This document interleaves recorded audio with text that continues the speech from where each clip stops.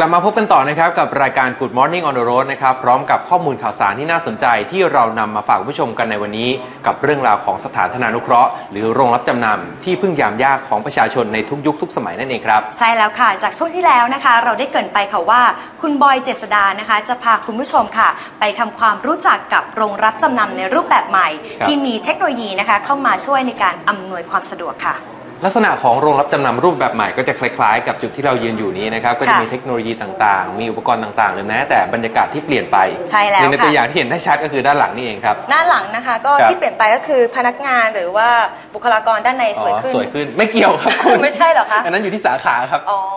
ไม่ดิฉันต้องการจะบอกนะคะ เพื่อให้แบบหน้าอยู่หน้ามอง แต่นี่ค่ะเรากำลังจะพูดถึงเครื่องสแกนนิ้วครับซึ่งถือว่าเป็นเทคโนโลยีนะคะที่เข้ามาช่วยด้วย แล้วก็ครับจากแต่ก่อนเนี่ยจะเป็นหมึกใช่ไหมคุณอ๋อใช่ แถวบ้านรู้หมดเลยนะว่าไปโรงรับจำนำมา ใช่ ถ้าเกิดเราไปไหนมา ถ้าเกิดเราไปลงรับจำนำมาเนี่ย ค่ะ เดินออกมาปุ๊บเนี่ยต้องเอานิ้วอุดไว้ในกระเป๋ากางเกงเดี๋ยวคนเดินอ๋อเดินอย่างนี้ถ้าใครถามบอกอ๋อไปทำบัตรประชาชนมา อ๋อ แต่ดูจากหน้าตานี่น่าจะรอบ 3 รอบ 4 อะไรอย่างเงี้ยแต่ละคน แต่ทุกวันนี้รูปแบบของโรงรับจำนำเปลี่ยนไปนะครับ มีค่ะเทคโนโลยีต่างๆ ที่ทันสมัยมากยิ่งขึ้น รูปแบบก็เปลี่ยนไปด้วยครับ ใช่แล้วค่ะ แต่ว่ารูปแบบนั้นนะคะ จะเป็นอย่างไรและเทคโนโลยีแบบไหนนะคะ ที่เข้ามาช่วยไปติดตามได้ในช่วงของ On the Road กับคุณบอยเจษดาค่ะ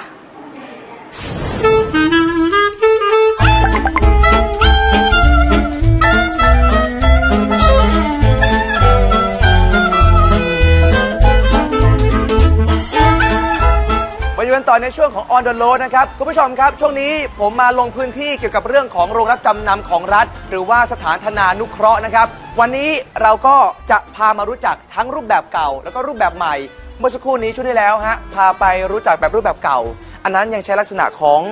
นิ้วมือ แปะโป้งลงไป เรียกง่าย ๆ ว่าไปตึงกันมา แต่ตอนนี้รูปแบบใหม่สังเกตได้ง่ายๆด้วยตาเปล่าคุณผู้ชมฮะ แค่การตกแต่งภายนอกค่อนข้างจะดูทันสมัยที่สำคัญประตูทางเข้า ยังเป็นแบบเซ็นเซอร์ หรือว่าอัตโนมัติ เมื่อสักครู่นี้อัตโนมือของใครของมันนะฮะ ส่วนด้านในจะมีความแตกต่าง ทั้งเรื่องของการจำนำแล้วก็มาถอนไถ่ออกไป รวมไปถึงความปลอดภัย จะมากน้อยขนาดไหนด้านในตามมาครับ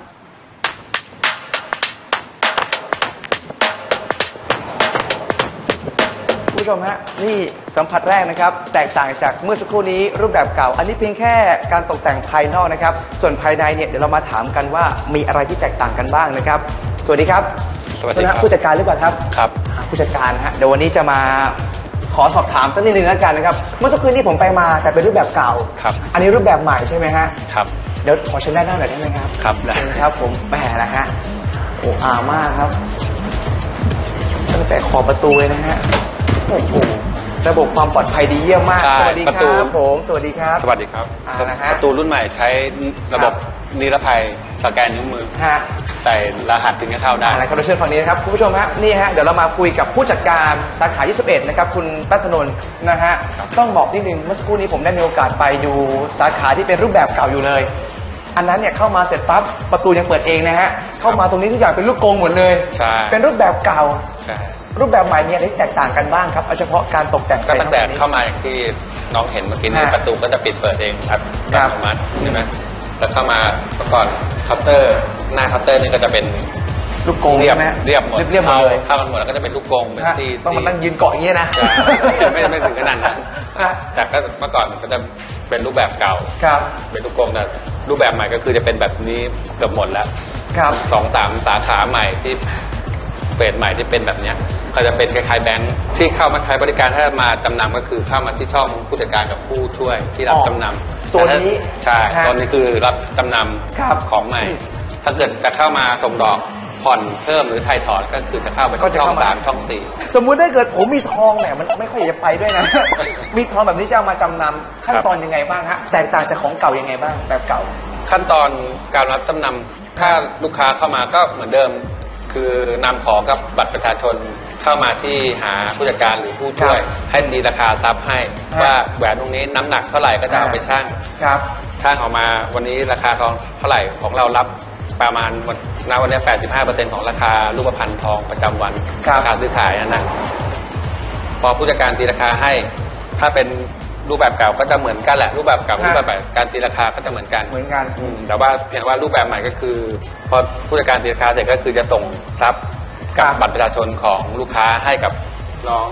ที่บันทึกข้อมูลครับใส่คอมเนี่ย ถ้าจะเป็นระบบเก่าก็จะต้องนั่งคีย์ชื่ออะไรไปมันก็จะช้าฮะกว่าจะเสร็จคนหนึงประมาณ 3 นาทีอะไรคเงี้รัยบแต่ระบบใหม่ก็จะใช้ไอ้บัตรอะเสียบเข้าไปในเครื่องอ๋อสแกนเนี่ยเดี๋ยวให้เขาโชว์ให้ดูก็ได้บัตรประชาชนว่าเราเป็นลักษณะของใช่ smart card ใช่ใช่แบบนี้นะฮะอ่าก็เสียบเข้าไปเลยเสียบเข้าไปเลยแล้วฐานข้อมูลของลูกค้าก็จะขึ้นมาในระบบเลยอ๋อว่าชื่ออะไรถ้าเป็นลูกค้าเก่า ลูกค้าใหม่ก็ขึ้นก็ขึ้นใช่ไหมใช่ฮะเพราะมันจะมีไอ้บัตร smart card ที่มันเป็น smart card อะนะอ๋อบัตรประชาชนอะมันจะมีแถบแม่เหล็กมีฐานข้อมูลอยู่ในนั้นฮะก็คือขั้นตอนที่เสียบบัตรประชาชนลงในเครื่องนี้แล้วข้อมูลออกมาแล้ว ครับ ก็คืออันนี้ก็ถ้าลูกค้าสแกนนิ้วมือ ก็คือแตะไปเฉยๆบน เครื่องสแกนนิ้วมือลายมือก็จะไปขึ้นที่จอคอม ฮะ ที่ช่องลายพิมพ์นิ้วมือเลย ไม่ต้องแตะที่ไม่ต้องเป็นหมึกนะฮะครับคุณผู้ชมฮะอันนี้เป็นเพียงแค่โซนด้านนอก ถึงความแตกต่างระหว่างรูปแบบเก่ากับรูปแบบใหม่ ส่วนในเรื่องของขั้นตอนเนี่ยอย่างที่บอกไปก็ยังเหมือนกันเหมือนเดิมคล้ายๆคล้ายๆการกันตีราคายังคล้ายๆเดิมครับฮะเพียงแต่ว่าระบบไอทีระบบฐานข้อมูลฐานข้อมูลมันจะสะดวกมากขึ้นสะดวกมากขึ้นรวดเร็วมากขึ้นฮะเอาละฮะเข้ามาเป็นด่านที่สองมีอะไรแตกต่างบ้างครับตรงนี้เดี๋ยวดูเคาน์เตอร์ด้านในหน่อยดีกว่านะได้ เคาน์เตอร์ฝั่งนี้ สวัสดีครับพี่พี่ๆสวัสดีครับนี่ฮะนี่ฮะเคยรับบริการตึ๊งเคยตึ๊งเองไหมครับพี่เขาเคาน์เตอร์แบบใหม่ก็จะแตกต่างจากแบบเก่าที่เราเห็นเมื่อกี้ใช่ไหมครับแบบเก่าก็จะเคาน์เตอร์สูงสูงๆอ่าไอโต๊ะพนักงานก็จะสูงสูงๆครับใช่ไหมเป็นเหล็กอืมธรรมดารูปแบบใหม่ก็จะเป็นเคาน์เตอร์แบบคล้ายๆแบบแบงค์ใช่ไหมเหมืจะอนเตี้ยลงมาหน่อยธนาคารเลยฮะ ใช่พนักงานก็จะนั่ง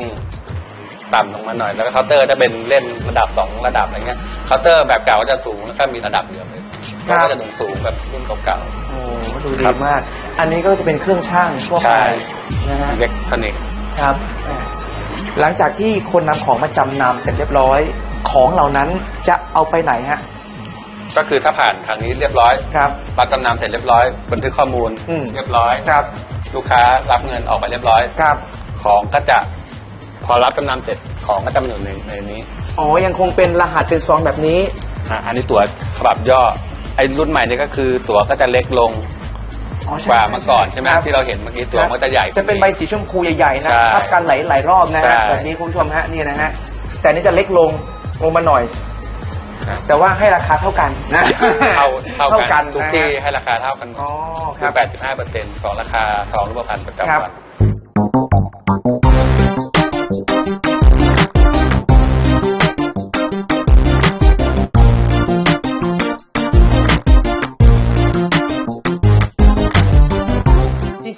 ไม่ได้มีความแตกต่างจากรูปแบบเก่าที่ผมเพิ่งไปดูมา ใช่ ก็คล้ายๆกัลักน ษณะของที่รับจำนำก็จะคล้ายๆกัน ฮะเพียงแต่ว่าสถานที่วิธีการปฏิบัติครับงานของพนักงานจะรวดเร็วขึ้นฮะ ทันสมัยขึ้น คราวนี้สมมตินิดหนึ่งครับ ถ้าเกิดคนที่ต้องการจะนำสิ่งของมาจำนำมีการแนะนำยังไงบ้างครับทำไมต้องต้องเลือกเป็นโรงรับจำนำของภาครัฐเอง เอกชนมีความแตกต่างกันยังไงบ้างครับตรงจุดนี้ ส่วนมากก็ไม่ต้องแนะนำนั้นลูกค้าส่วนมากก็จะเชื่อเชื่อมั่นเชื่อถือนะครับรัฐบาลก็กึ่งหนึ่งแล้วใช่ไหมพอเห็นเป็นของรัฐบาลเขาก็เชื่อมั่นเชื่อถือแล้วว่าเข้ามาที่นี่ต้องมั่นคงปลอดภัยครับไม่เอาเปรียบครับคุณผู้ชมครับนี่แหละครับ ถือว่าเป็นอีกหนึ่งความแตกต่างระหว่างโรงรับจำนำของรัฐรูปแบบเก่ากับรูปแบบใหม่ ที่ก็จะเห็นความแตกต่างค่อนข้างจะเยอะเหมือนกันครับได้ข่าวว่าตอนนี้ก็จะมีโครงการตลาดของที่หลุดไปแล้วด้วย ใช่ไหมฮะอันนั้นเป็นนโยบายของพอมั้งครับอ๋อใช่ไหมฮะตรงนั้นก็จะมีมีมีการเอ๊ะปกติผมยังงงว่า คนที่เขาไปซื้อของที่มีการหลุดจำนำพวกครันี้บปกติเขาต้องซื้อกันยังไงบ้างฮะทรัพย์ตุดจำนำไปครับซื้อใช่คืนครับใช่ไหมฮะฮะลูกค้าไปซื้อคืนถ้าเกิดลูกค้าเกิดดื่มเรามีกำหนดสี่เดือนขนาดที่วันงั้นลูกค้าครับจะลืมไม่มาส่งดอกอ่าไม่ได้มาส่งดอกเลยลืมไปแล้วอืคอมมันก็จะตัด ครับเป็นของหลุดลิงก์เข้าสำนักงานไปฮะก็เป็นทรัพย์หลุดจำนำแล้วทีนี้ลูกครับลูกค้าก็ไม่ไม่มีสิทธิ์จะถ่ายถอนแล้วเพราะมันอ๋อมันเหมือนกับเป็นทรัพย์หลุดจำนำไปแล้วมันก็เป็นครับเป็นสิทธิ์ของทางสำนักงานธนานุเคราะห์ไปแล้วฮะ เพราะมันครบกำหนดถ่ายถ่ายถอนแล้ว แต่ลูกค้าก็ยังมีสิทธิ์ที่จะขอซื้อทรัพย์ของเขาคืนได้โดยการนำตั๋วกับบัตรประชาชนของเขาอะครับ ไปติดต่อที่สำนักงานใหญ่ก็คือสำนักงานธนานุเคราะห์เอ๊ะพัฒนาสังคม แบบนี้จะไปประมูลทันเหรอฮะ เพราะเขาบอกว่าถ้าเกิดมันหลุดไปแล้วพวกต้องเตรียมไปประมูล ใช่ไปรอประมูล แต่ถ้าเขาจะพูดถึงหลุดช่วงแรกๆไงครับสิบหรือสิบห้าวันแรกยังทันอยู่ยังทันอยู่อ๋อไปตามคืนได้เพราะฮะอยู่ในขั้นตอนกระบวนการพื่อที่จะขึ้นประมูลครับใช่ไหมลูกค้าที่เขาเป็นเจ้าของทรัพย์เขายังสามารถที่จะไปติดต่อ ดำเนินการทำเรื่องครับ ขอซื้อคืนได้ อืมก็ยังเขายังให้ให้สิทธิ์กับเพื่อจะครับ ของคืนในราราคารับจำนำบวกดอกเบี้ยอีกหกเจ็ดเดือนอะไรประมาณเนี้ยครับครับก็สามารถซื้อคืนได้ เอาละครับคุณผู้ชมฮะนี่แหละครับคืออีกหนึ่งที่เราสงสัยกันมานานนะครับว่าปกติแล้วคนไปโรงรับจำนำเนี่ยจำนำเสร็จปุ๊บของไปตรงไหน การเก็บรักษาความปลอดภัยเป็นยังไงบ้าง รูปแบบเก่ารูปแบบใหม่ทางภาครัฐเองเอกชนเองอันไหนคุ้มค่ากว่ากัน อันนี้คือคำตอบที่เราหาให้ในวันนี้นะครับวันนี้ต้องขอบพระคุณด้วยสำหรับผู้จัดการสาขา 21 ด้วยนะฮะขอบคุณมากครับขอบคุณครับขอบคุณครับ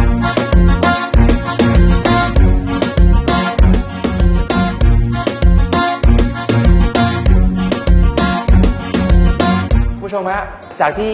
เข้ามาแล้วก็ลองสังเกตดูนะครับ ต้องบอกว่าทันสมัยนะฮะแล้วก็วันนี้ผมจะขอถือโอกาส ลองตึ้งดู ลองจำนำดูฮะในชีวิตอันนี้เพื่อคุณผู้ชมนะฮะเอาเป็นการสาธิตแล้วกันครับเผื่อหลายๆคนนั้น ยังไม่เคยมีประสบการณ์แบบนี้ ผมเป็นหนูทดลองให้ก่อนแล้วกันนะครับมาแล้วฮะในวันนี้ผมจะขอตึ้งแหวนทองของผมแล้วกันครับนี่นะฮะจำนำแหวนทองได้ใช่ไหมครับพี่อ่าละฮะต้องยังไงฮะยื่นของก่อนนะฮะพร้อมกับบัตรประชาชนประชาชนด้วยใช่ไหมฮะ ใช้แค่สองอย่างโอเคนี่นะฮะสองอย่างนี้นะครับ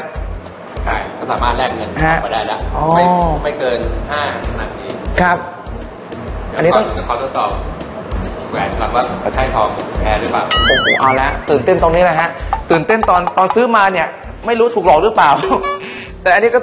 แท้แท้ไหมฮะแท้ไหมครับอะไรครับที่ตรวจสอบแล้วก็เป็นทองแท้ครับโอ้โห96.5โอเคฮะ ได้ตามมาตรฐานของประเทศไทย ครับ ต่อไปก็ต้องชั่งน้ำหนักดูว่าแหวนตรงนี้หนักเท่าไหร่สามารถประเมินราคาให้เราได้ ครับ อย่างดีของแท้ สามารถมองที่จอนี่เนี่ยสามสามจุดเจ็ดหกกรัม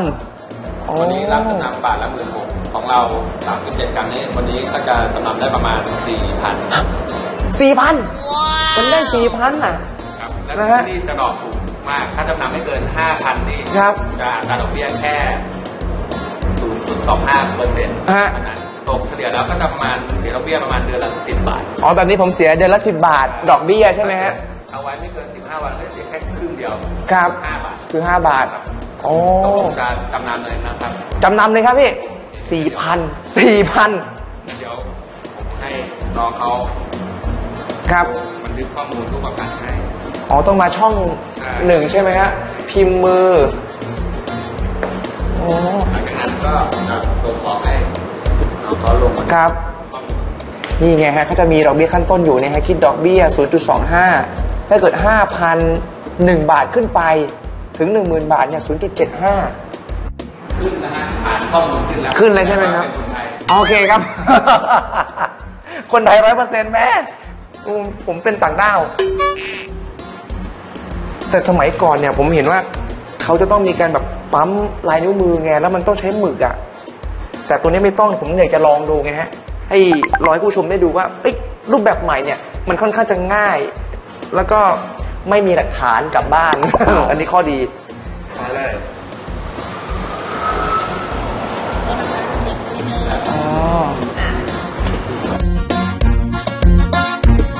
ไปฝั่งนู้นใช่ไหมครับพี่ ได้หรือยังครับ ครับ ได้แล้วเหรอฮะวิขอบคุณครับพี่ โอ้โหสี่พันบาทโอ้โหโอ้โหโอ้โหเป็นการตึงครั้งแรกในชีวิตอื้อหือคุณผู้ชมฮะ นี่นะครับ การจำนำแหวนของผมครั้งแรก การตึงครั้งแรกในชีวิต 4,000 บาท อันดับแรก นับตังค์ให้ครบครับ 1 2 3 4อื้อหือและเก็บให้มิดชิดโดยไว นี่ฮะทำมาปุ๊บเนี่ยเขาจะให้ใบเสร็จแบบนี้ครับ ในนี้จะเขียนลงทั้งวันที่ที่เรามาจำนำนะฮะ มีวันเดือนปีแล้วก็เวลาเนี่ยไว้เป็นหลักฐานครับ แล้วก็มีข้อมูลพื้นฐาน แต่ละคนชื่ออะไรบ้านอยู่ที่ไหน เพราะฉะนั้น ถ้าคุณหลุดจำนำนี่ไปตามเขาได้นะฮะนี่ฮะแหวนทองคำสลักลาย 1 วง น้ำหนัก 3-7ถึง7กรัม 1 วง 4,000 บาท วันนี้ในชีวิตของผมครับ สแกนง่ายๆ สังเกตตรงนี้ฮะนี่นะครับ รูปแบบใหม่ คุณไม่ต้องไปใช้แบบหมึกที่มันค่อนข้างจะล้างออกได้ยาก แบบนี้ไม่มีใครรู้ครับว่าเราแอบมาตึงนะเพราะฉะนั้นคุณกุ๊กเกลคุณแจ็คครับ นี่แหละครับคือทางออกของคุณเวลาคุณไม่มีตังค์อย่าลืมมานะครับสี่พันไปแล้วต้องขอขอบคุณคุณบอยเจษดานะคะสำหรับข้อมูลดีๆ และก็คำแนะนำดีๆ ค่ะ แต่ก็คงให้เขาใช้บริการคนเดียวเนาะดูท่าทางช่ำชองเลยทีเดียว ประมาณนั้นค่ะคุณ แต่อย่าลืมนะคะ คุณบอยค่ะเก็บตั๋วรับจำนำดีๆนะคะ มีระยะเวลา4สี่เดืเดืออนน30 30 วัวันนอ่าโอ้อย่าลืมไปส่งดอกกันด้วยนะครับ เพค่ะราะว่าถ้าเกิดคุณบอยไม่ส่งดอกของเหล่านั้นก็จะหลุดจำนโอ้ำอ่าแต่ไม่ต้องห่วงนะครับ ถ้าเกิดค่ะของหลุดจำนำมีคนดูแลให้ครับ มีวิธีการในการดำเนินการจัดการกันต่อไป แต่การดำเนินการกับของหลุดจำนำจะมีขั้นตอนอย่างไร เราไปดูต่อกันในช่วงหน้า ช่วงนี้พักกันครู่เดียวครับ สักครู่ค่ะ